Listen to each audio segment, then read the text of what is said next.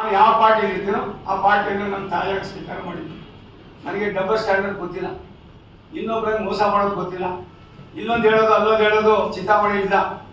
ಸ್ವಲ್ಪ ನನಗೆ ಇವರಿಬ್ಬರು ಗುರುಗಳು ಸಂಸ್ಕಾರ ಕೊಟ್ಟಿದ್ರಿಂದ ನಾನು ಯಾವತ್ತೇ ಜೀವನ ಮಾಡ್ಬೇಕಾದ್ರೆ ಬೆಳಗ್ಗೆ ಸಂಜೆವರೆಗೂ ಹತ್ತಾರು ಬಾರಿ ಅವ್ರು ಜ್ಞಾಪಕಕ್ಕೆ ಬರ್ತಾರೆ. ಹಾಗಾಗಿ ನಾನು ಕಠಿಣವಾಗಿ ಮಾತಾಡ್ತೀನಿ ಅಂತ ನೀವುಗಳೇನು ಮಾಡ್ತೀರಿ? ತುಪ್ಪ, ಸುರಿ, ಖಾರ ಬೆಲ್ಲ ಸುರಿದು ನನ್ನನ್ನು ಎಲ್ಲ ಒಂದು ಕಡೆ ಖಳನಾಯಕನಾಗಿ ಮಾಡ್ಬಿಟ್ಟಿದ್ದೀನಿ. ನಿಮಗೆ ರಿಕ್ವೆಸ್ಟ್ ಮಾಡ್ತೀನಿ.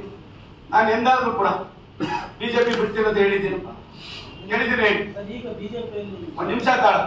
ಆ ಸೆಕೆಂಡ್ ನಾನು ಮಾತಾಡ್ತೀನಿ.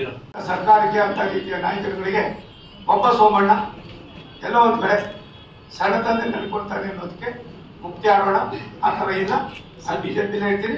ಸೆಕೆಂಡ್ ಸರ್ ವಿಜಯ ಸಂಕಲ್ಪ